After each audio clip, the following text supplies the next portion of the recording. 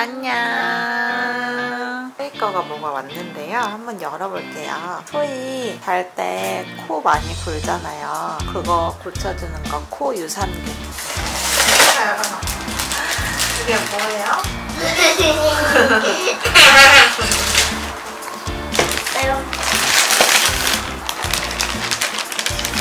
이게 뭐지? 바이크롬 코 유산균. 이건 소희가 먹는 유산균이야. 엄마도 유산균 먹잖아요. 그거 소희도 먹는 거야.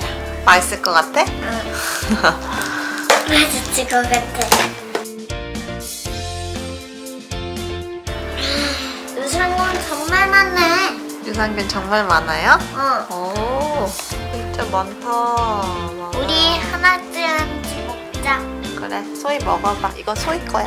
소희 콧물 나오고 비염이 있어서 엄마가 이거 한번 주문해봤어. 마마 이지야 TV. 어때? 맛있어? 맛있다. 엄마가 먹어봐. 이건 코가 어. 건강하시는 맛이 같은데. 코가 건강해지는 맛인 것 같아? 응.